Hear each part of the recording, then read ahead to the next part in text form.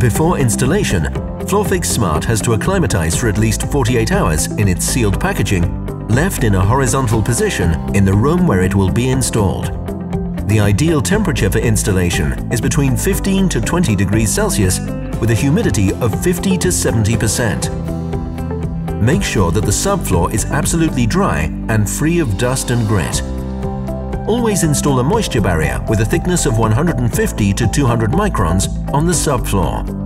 Floorfixx Smart levels out an unevenness of up to 2 millimeters. Leave a 5 centimeter film excess against the skirting or wall. The moisture barrier joints have to overlap by 20 centimeters or be taped with vapor-proof tape. Please check the installation instructions. Start working in the right-hand corner. Make sure that the overlap facing the skirting or wall is cut to measure or filled using the Floorfixx Smart strips.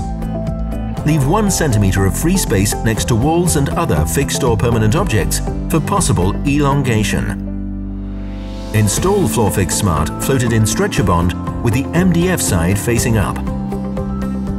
The second row must be started using a board one half or one third the original length to create a good stretcher bond pattern.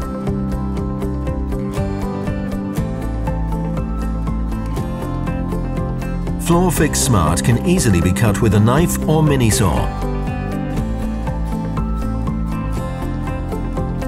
Tap the overlap connection or use a hand roller.